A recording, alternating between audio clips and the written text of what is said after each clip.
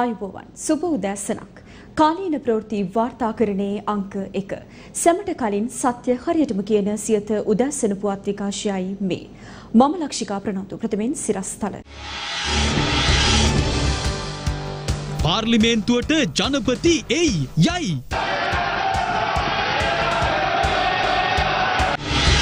අගමැති ඇතුළු සියලු දෙනා ඉල්ලා අස්විය යුතුයි. අන්තර්පාලනයක් වහාගේන්න විමල් පාර්ලිමේන්තුවේදී ඉල්ලයි. මහළු මඩමක් හොර ගුහාවක් ඥාති සංග්‍රහයක් වූ අපේ තානාපති සේවය. ඖෂධ නැති රෝහල් කොස් කොටන්නද. ප්‍රථමයෙන් දේශීය පුවත්. පාර්ලිමේන්තුව අද පෙරවරු 10ට රැස්වීමට නියමිතයි. මේ ඊයේ පාර්ලිමේන්තුවේදී පළ වූ අදහස්.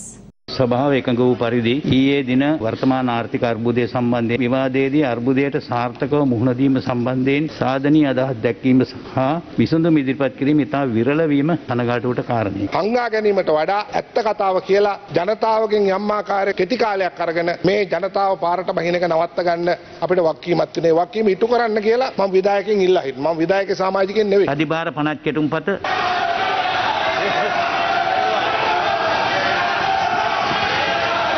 අධිභාර බද්ධට අපි දැඩිව විරුද්ධ වුණා. අපේ පක්ෂේ මහලේකම්තුමා ශ්‍රේෂ්ඨාධිකරණයේ නඩුවක් ගොනු කරා. ඒ නඩුවේදී ඒක අපි ජයග්‍රහණය කරා. මේ අවස්ථාවේදී දේශපාලනය කරන අවස්ථාවක් නෙමෙයි. ඒ නිසා අපි ඡන්දය දීමෙන් වැළකී සිටිනවා කියලා ඔබතුමාලාට දැනුවත් කරන්න කැමතියි. මම හිතන්නේ අපි අන්න පෝස් මේක සම්මත කරමු. අපි මේ පන්තට විරුද්ධ වෙන්නේ අධිබාර පත්වන්න but we must have a debate අපි විවාදයක් තියෙන්න ඕන. ඔබතුමාලා සමග පසුදිනක විවාදයක් දෙන්න එකඟ වුණා. අධිභාර පනත් කෙටුම්පත තුන්වෙනි වර කියවා සංශෝධන සහිතව සම්මත කරනු ලද බව දන්වනු කැමැත්තේ. හරියට තමුන්නාන්සලා තේරුම් ගන්න මේ ප්‍රශ්නේ කේන්ද්‍ර දෙක. ඒ ජනාධිපතිවරයා මේ පුටුවේ වාඩි වෙමින් මේ බලතල හොබවමින් කවර ඊට යටින් අටවන කවර වර්ගයේ හෝ සභාගෝ අන්තර්පාලන හෝ මේ විවස්ථාව ඇතුළෙන් හෝ මේ විවස්ථාව පිටතින් හෝ ගෙනෙන කිසිදු යෝජනාවක් මේ රටේ පුරවැසියන් පිළිගැනීමට පිළිගැනීමට සූදානම් නැහැ. මේ ප්‍රශ්නයේ බුරබුරා නැගෙන වේදනාවේ කේන්ද්‍රය ජනාධිපතිවරයා ඉවත් වෙන්නේ. ඒකට යටත්ව කරන ඕනෑම යෝජනාවක් අපි සාකච්ඡා කරන්න ලෑස්ති. එතුමා කිව්වා පළවෙනි දේ ගෝට ගෝ හෝම්.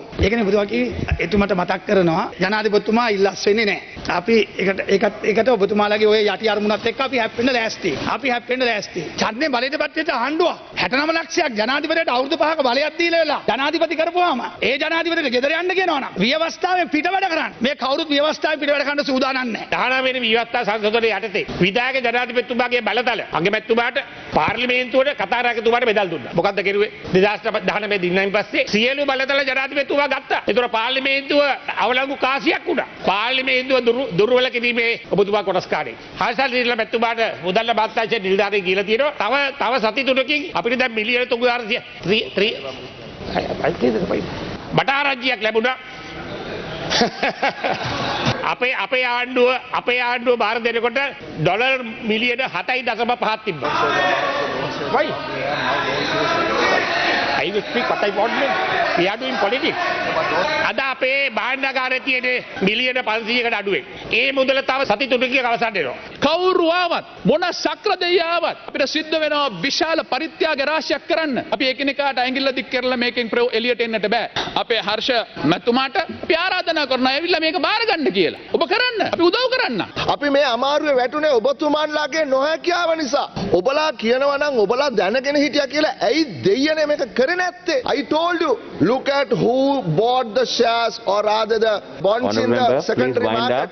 ඇයි මේවා ගෙවන්නේ? ඒ ගෙවපු පුද්ගලයෝ 100ට 200 100ට 300 ලාභ ගත්තා ඩොලර් වලින්. එතකොට මෙතන දූෂණයක් වංචාවක් වුණාද කියන එක හොයලා බලන්න අවශ්‍යයි. සමාජ මාධ්‍යයක තියෙනවා යම් යම් පුද්ගලයන්ගේ නම් කියලා ඒ අයව ජනාධිපති කරන්න, අගමැති කරන්න, මුදල් ඇමති කරන්න කියලා. පස් දෙනාට අඩුම ගානේ එක්කෙනා ඩොලර් බිලියන් 10 ගානේ අරන් එන්න වෙයි. වගකීම් බාර ගන්න බැරි ජනාධිපතිවරු ඉන්නවා නම් ඉල්ලාස්වල යන්න.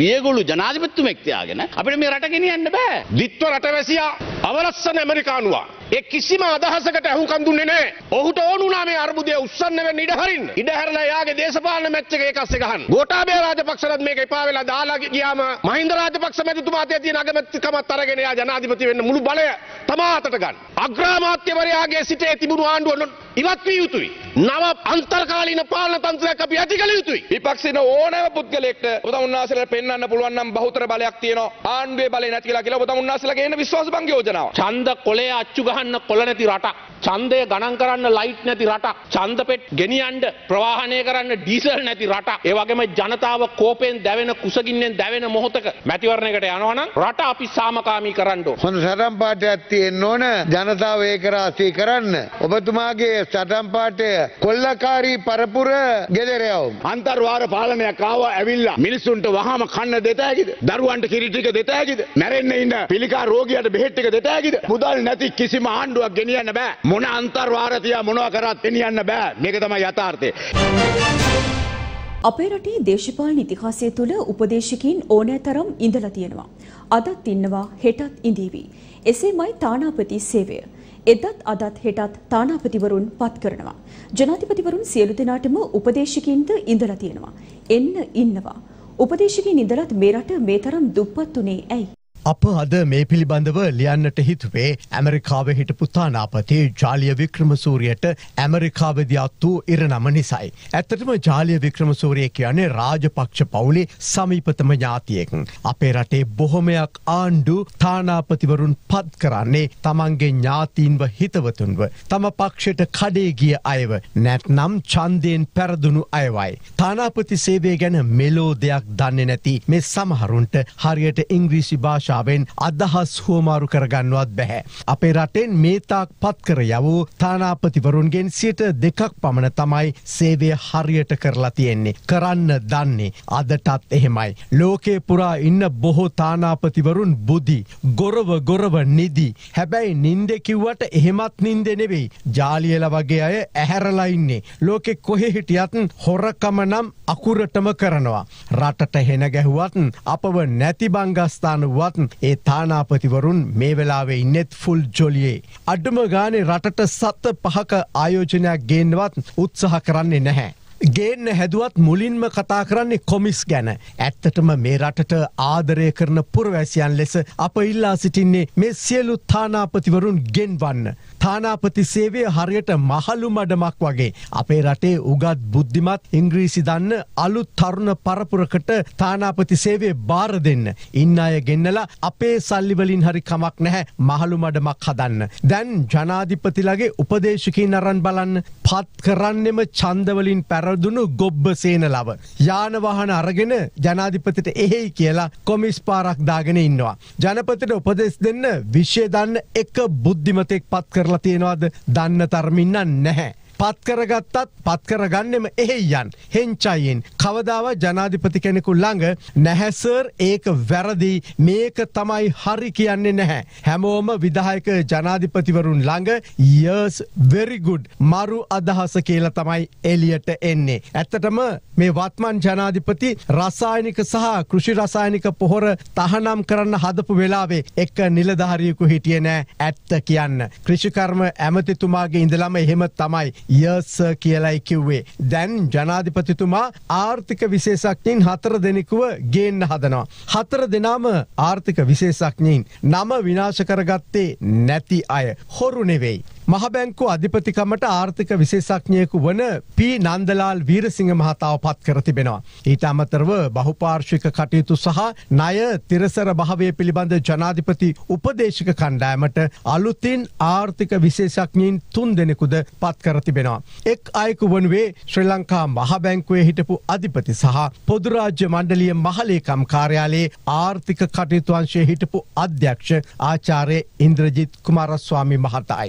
ජෝජ්ටවුන් විශ්වවිද්‍යාලයේ සංවර්ධන පරිචය පිළිබඳ මහාචාරය සහ ලෝක බැංකුවේ හිටපු ප්‍රධාන ආර්ථික විද්‍යාඥ මහාචාරය ශාන්තා දේවරාජන් මහතාද පත් කර තිබෙනවා. තුන්වෙනියට නම් කර ඇත්තේ ආයතනය ධරිතා සංවර්ධන ආයතනය හිටපු අධ්‍යක්ෂ සහ IMF අප්‍රිකානු දෙපාර්තමේන්ත්ව හිටපු නියෝජ්‍ය අධ්‍යක්ෂ ආචාරය ශාමිනී කුරේ මහත්මියයි.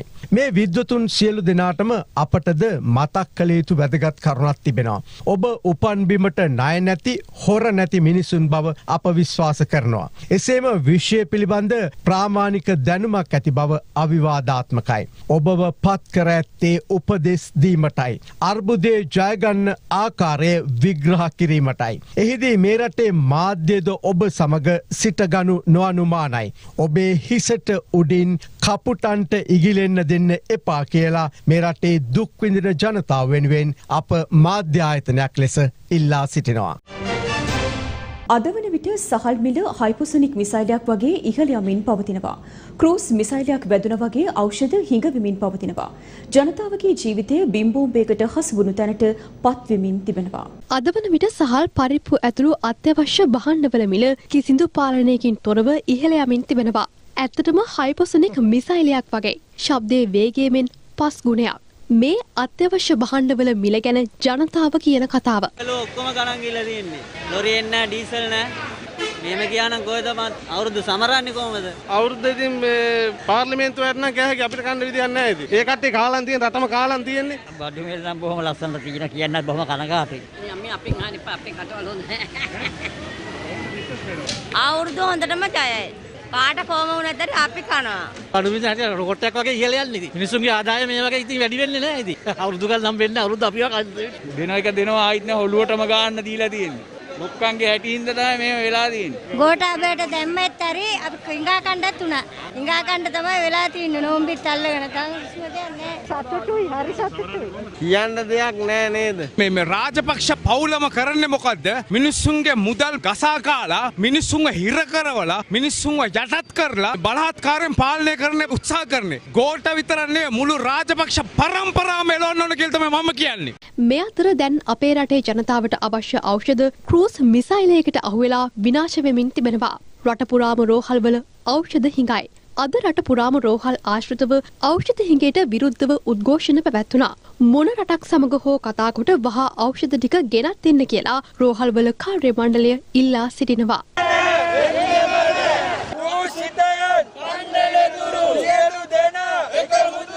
අපි ආවා ජන ජීවිත වැඩට යන්න පෝලිම් වල මත වගකීමෙන් කියනවා. මේ වෙනකොට රෝගීගේ ජීවිත මරුතුරට ඇමින් තියෙනවා. ඒ නිසා මේ ආණ්ඩුවට කිසිම වගේ වගක් නැහැ. ඇමතිවරයා කියනවා ආණ්ඩුවේ සල්ලි වල සල්ලි නැහැ කියලා. මේ රටේ ජනතාවගේ සටනක් තියෙනවා මේ ආණ්ඩුවට ගෙදර යන්න කියලා. ඒක දා පැහැදිලි. ඒතකොට අපි අවසාන වශයෙන් කියන්නේ සෞඛ්‍ය සමිතිය අපි ඔක්කොම එකතු වෙලා කියන්නේ මේ ආණ්ඩුව දැන් ගෙදර යන්න ඕනේ. දැන් අපි දන්නවා ඩීසල් ප්‍රශ්නයක් තියෙනවා. දැන් අද මගේ වාහනේට ඩීසල් ගහගන්න විදියක් නැහැ අද. පැය 12ක් 13ක් මට මගේ වාහනේට ඩීසල් ගහන්න පොලිමේ ඉන්න විදියක් නැහැ. මොකද අපි මේ ඉස්පිරිතාලේ රැකියාවට එන්න ඕනේ නිසා. ඉතින් ඒ වගේ ප්‍රශ්න ගොඩාක් පැන්න කියලා තියෙනවා. ඉතින් මේ ආණ්ඩුවෙන් අපි ඉල්ලා සිටින්නේ මේ ප්‍රශ්න වලට විසඳුම් දෙන්න නැත්තම් ඉස්සරහට මේ ප්‍රශ්න තවත් උග්‍ර වෙලා ලොකු කලබලයක් මේ සෞඛ්‍ය සේවා ලබා දෙන ස්ථාන ඉස්සරහා එන්න පුළුවන්. රෝගීන්ට අවශ්‍ය කරන සියලුම දේවල් ටික මොනෑම විදියකින් හරි පිටරටවල් එක්ක කතා කරලා හරි කමන්නේ අපිට ලබා දෙන මෙන් ඉල්ලා සිටිනවා ආණ්ඩුවෙන් අපිට පේන්නේ පාර්ලිමේන්තුව ඇතුළේදී මේකට විසඳුමක් හොයාගන්න කවුරුත් යෝජනා කරනවා. මේ තියෙන තත්ත්වය උග්‍ර කරන්න තමයි හැම එක්කෙනාම හදන්නේ. ඒකට අපිට පෙනී යනවා. මේ තත්ත්වය දිගටම ගියොත් වගකීමක් ඇතුව කටයුතු නොකළොත් එහෙම ඉදිරි සුමාන දෙක ඇතුළත ඉතා දරුණු ආඝාතයකට යනවා. මේ ජාතිය නැමැති ලෙඩාව ගොඩ ගන්න බැරි මට්ටමකට යනවා. එක පාරක් කරපු මෝඩ වැඩේ තව පාරක් කරනවට වැඩිය වැඩි හිටි දැනුම ඇති පළපුරුද්ද ඇති දේශපාලකයන් සියලු දෙනාම එකතු වෙලා මේ රට ගොඩ ගන්න යම්කිසි ක්‍රියාමාර්ගයක් ගන්න ඕන කියන එක අපි හිතන්නේ. වත්මන් ආණ්ඩුව පළවා හරින ලෙස ඉල්ලා සමගී ජනබලවේගය රටපුරා විරෝධතා සංවිධාන කර තිබුණා. රට තුළ මේ වන විට උද්ගතව ඇති අර්බුදකාරී තත්ත්වයට එරෙහිව සමගී ජනබලවේගය පාරට බැස්සා. ඒ දිවයිනේ විවිධ ප්‍රදේශවලදී විරෝධතා ව්‍යාපාරවල නියැලෙමින් විපක්ෂ නායක සජිත් ප්‍රේමදාස මහතාගේ නායකත්වයෙන් පැවති උද්ඝෝෂණ ව්‍යාපාරය පැවැත්වුණේ කලව කැලේ ප්‍රදේශයේදී.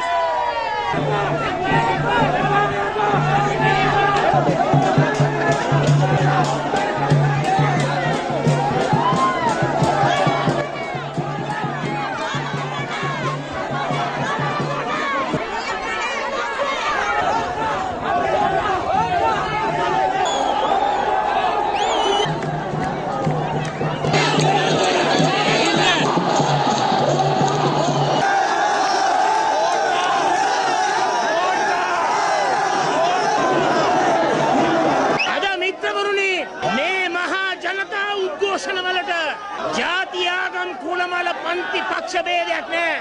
කවුරු හරි උත්සාහ දරනවා නම් ಜಾති ભેදේ අවුස්සලා, ආගම් ભેදේ අවුස්සලා, පක්ෂ ભેදේ අවුස්සලා ජනතා විරෝධය මොට කරන්න අපි එයට විරුද්ධව ප්‍රජාතන්ත්‍රවාදීව සාමකාමීව නැගී සිටිනවා කියන එක මේ අවස්ථාවේ කියන්න කැමතියි. සමගි ජනබලවේගේ මහලේකම් රංජිත් මධ්දුම් බණ්ඩාර මහතා සංවිධානය කළ විරෝධතාවයක් අද මොනරාගලදී පැවැත්වුණා.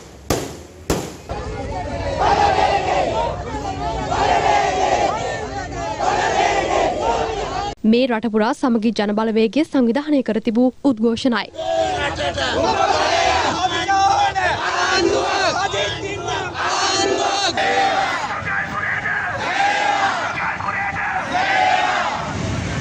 ගෝහම් ගෝට විතරක් නෙමෙයි සමස්ත රාජපක්ෂ පවුලම ගෝහෝම් කියලා තමයි කියන්නේ. සමස්ත රාජපක්ෂ පවුල ගෙදර යද්දි සමස්ත රාජපක්ෂ පවුල මේ වෙලාවට තියෙන හොරකම් කරලා තියෙන සියලුම ධනය අපි නීති අනුකූල පවරගෙන ඔවුන්ගේ දේපල රාජසන්ත කළා ඔවුන්ට හිරට ගන්න අපි අනිවාර්යයෙන්ම නීති සකස් කරනවා මේ තියෙන නීති ප්‍රයෝජනෙට ගන්නවා.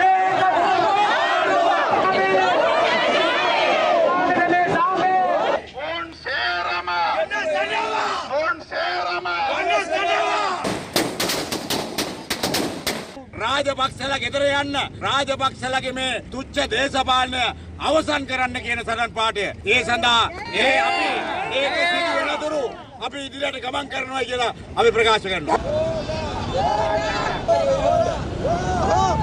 සල්ලි. අපිට දිය අපේ සල්ලි. අපිට දිය උඹ පලායන් හොඳ අපි ගෝඨාභය ජනාධිපතිවරයාට කියනවා මේ රටේ ජනතාවගේ ඒ හඬට කන් දෙන්න. ඔබතුමාට මේක කරන්න බෑ. එහෙම නොකල දරදඬු විදියට තවදුරටත් මේ පාලනයේ ඉන්න හැදුවොත් මේ රටේ ජනතාවගේ ඉදිරි ක්‍රියාමාර්ග මීට වඩා දරුණු වෙන්න පුළුවන්. පවතින රජයට විරෝධය පළ කරමින් රටපුරා විරෝධතා සංවිධාන කර තිබුණා. රට තුළ පවතින වත්මන් අර්බුදකාරී තත්වයට විරෝධය පළ කරමින් ජනතාව තවදුරටත් උද්ඝෝෂණය නිරත වනවා.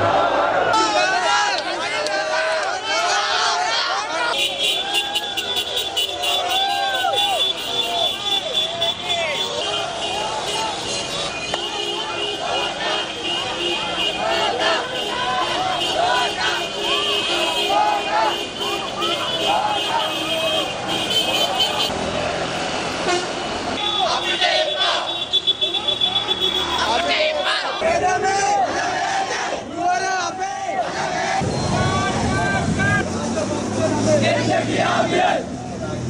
Gente miserabile! Bene, Milano! Amate molto! Amate molto!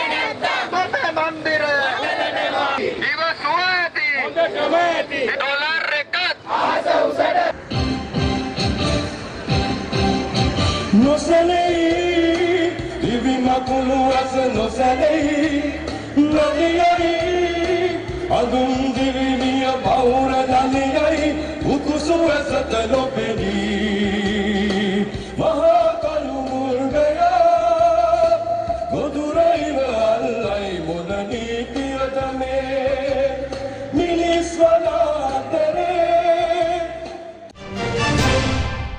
උදැස්සන පුවත් විකාශය අවසන්. ඔබට සුබ දවසක්.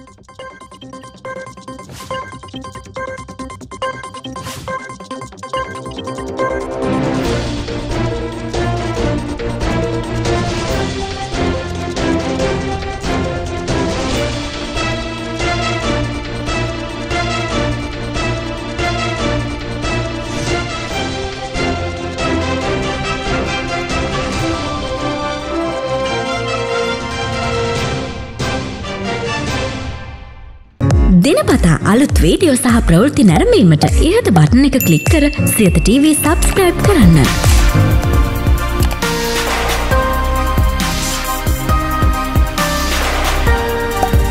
අලුත් වීඩියෝ ගැන මුලින්ම දැනගන්න මෙම සීනුව කලික් කරන්න.